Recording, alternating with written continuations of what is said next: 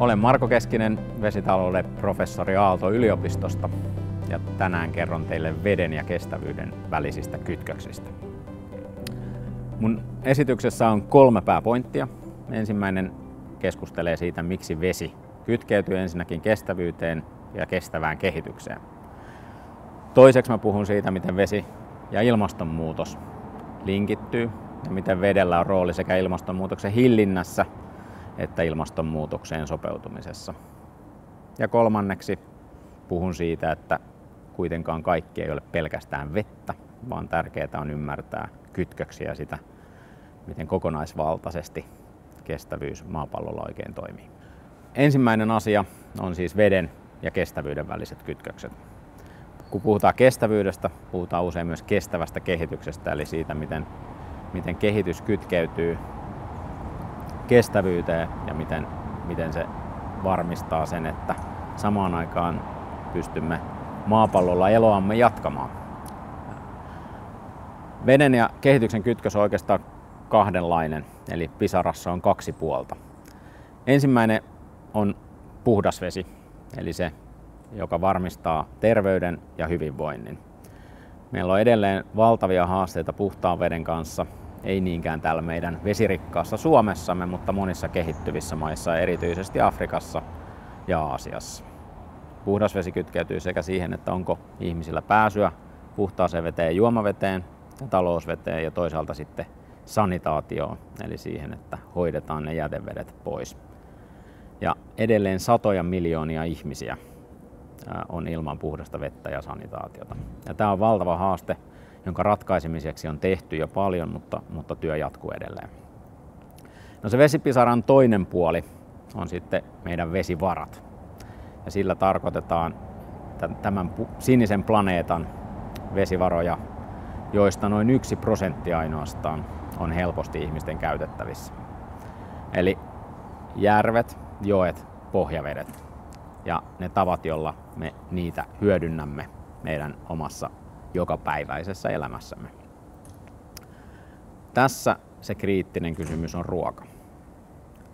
Valtaosa vähän mitta, mittamenetelmistä riippuen 70-90 prosenttia meidän käyttämästämme vedestä kuluu globaalisti ruoantuotantoon. Eli esimerkiksi Aallossa, kun mietimme veden niukkuuden ratkaisuja, niin se tutkimuskysymys onkin, kuinka syödä vähemmän vettä. Ja tämä on se yksi iso kohtalokysymys, joka meillä on meidän väest- väkiluvultaan kasvavalla maapallolla, jossa maapinta-alaa ja vettä on kuitenkin rajallinen määrä.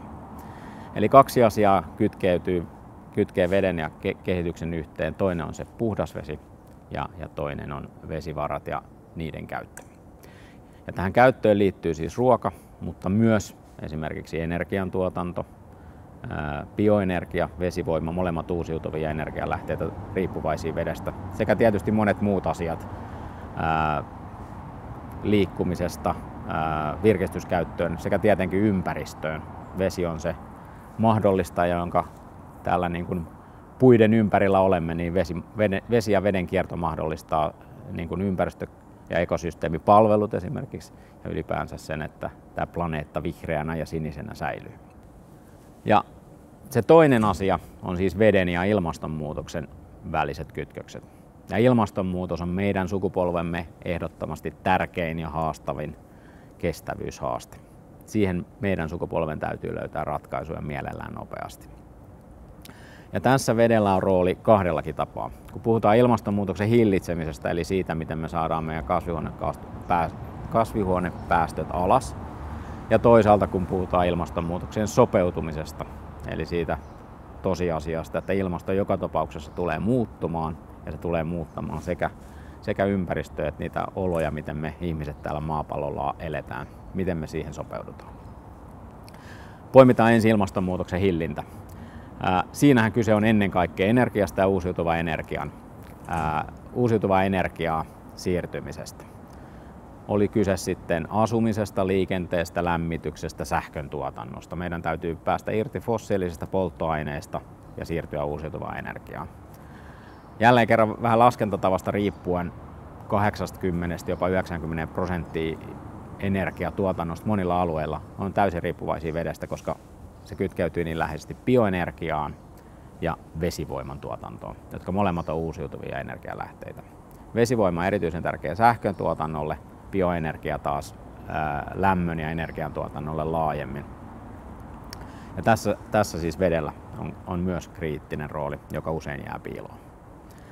No, ilmastonmuutoksen sopeutumisen kannalta vedellä on ehkä vielä merkittävämpi rooli, sillä ilmastonmuutoksen kaikki vaikutukset, suoria lämpötilavaikutuksia lukuun ottamatta, meihin ihmisiin ja ympäristöön välittyy käytännössä vedenkierron muutosten kautta. Vedenkierto on maapallon verenkierto, joka pitää sen sydämen pumppaamassa. Ja, ja jos tämä kierto häiriintyy, minkä ilmastonmuutos sille tekee, niin sillä on merkittäviä vaikutuksia siihen, miten me pystymme tällä, tällä maapallolla elämäämme jatkamaan. Puhutaan siis esimerkiksi lisääntyvistä tulvista ja toisaalta samoissa, samaan aikaan jopa samoissa paikoissa eri vuoden aikaa lisääntyvistä kuivuuskausista. Myös ilmastolliset ääriilmiöt, kuten hirmumyrskyt ja, ja tota, erilaiset muut tota, ääriilmiöt kytkeytyvät läheisesti vedenkiertoon. Ja ilmastonmuutoksessa hyvästä syystä puhutaan paljon energiasta, mutta samalla tavalla pitäisi puhua sitten vedestä ja myös ruuasta, sillä ne vedenkierron muutokset vaikuttaa erityisesti siihen, miten me pystymme ruokaa maapallolla tuottamaan, miten vettä on siihen saatavilla ja miten veden saatavuus muuttuu. Olemme nyt käyneet läpi siis kaksi asiaa, eli sen, miten vesi kytkeytyy kehitykseen ja toisaalta miten vedellä on tärkeä rooli ilmastonmuutoksessa, sen hillinnässä ja sopeutumisessa. Se kolmas pointti on kuitenkin sanoa, että kaikki ei ole vettä vain. Eli tärkeämpää kuin keskittyy vaikkapa vain veteen, niin kestävyyden kannalta on ymmärtää se kokonaisuus, mistä kestävyydessä on kyse.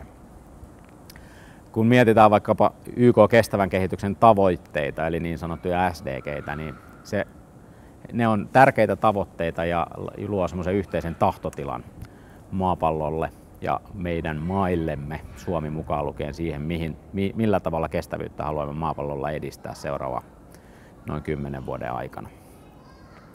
Ne kuitenkin luo hassun laatikkoleikin, jossa se kestävyys näyttäytyy erillisinä sektoreina, joissa on sitten erilaisia tavoitteita ja targetteja ja indikaattoreita, joita täyttämällä kestävyys jotenkin automaattisesti toteutuu. Tämä ei kuitenkaan ihan pidä paikkaansa, sillä jotkut niistä kestävän kehityksen tavoitteista voi olla toisille tavoitteille haitallisia. Eli se yhden tavoitteen saavuttaminen voi estää toisen tavoitteen saavuttamisen. Ja sen takia tärkeää on myös tarkastella eri teemojen ja myös näiden kestävän kehityksen tavoitteiden välisiä kytköksiä. Veden kannalta yksi keskeinen tällainen lähestymistapa, sanotaan sitä nexus-lähestymistavaksi, on veden, energian ja ruoan väliset kytkökset. Ja hyvästä syystä, sillä kuten jo edellä selitin, sekä kestävyyden että myös ilmastonmuutoksen vastaamisen kannalta meidän täytyy yhtä aikaa ymmärtää se, miten vesi, energia ja ruoka edistävät ja toisaalta estävät kehitystä ja kestävyyttä tällä maapallolla.